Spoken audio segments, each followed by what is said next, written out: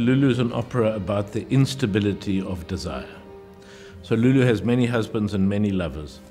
But for Lulu, none of the men can match the image of what she thinks she needs.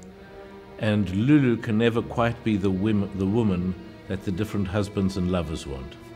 She wants a man who'll accept her as she is forever, to allow her to do what she wants, and this is never possible. And the men hope that she's going to be a devout and faithful and ever loving, quiet wife at their side, and she's not interested in that either. So it's about this lack of meeting of the object of desire and the desire that goes out to it. So it's about fragmentation, about people being fragmented, not being the single coherent being that they're expected to be. And that's reflected in the production with the drawings which shatter, which reform themselves.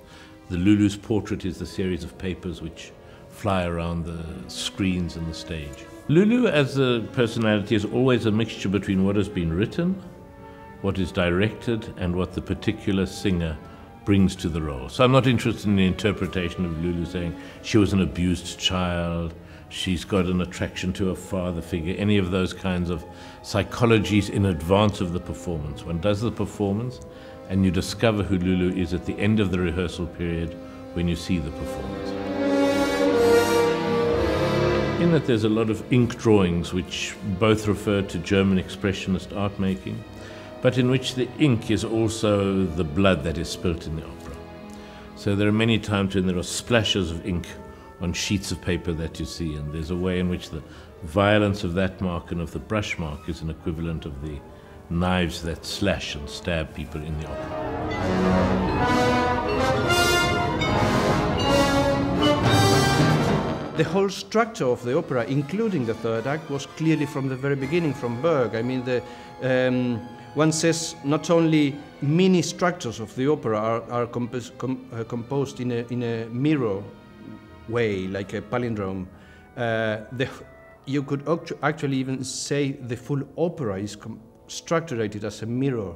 In the middle of the second act, right in the middle of the orchestra interlude, which is mirroring itself. In the middle, there is a lovely arpeggio uh, upside from the piano and then goes down again, and then start is everything mirroring what's happening, and then it's a fully complete, perfect palindrome.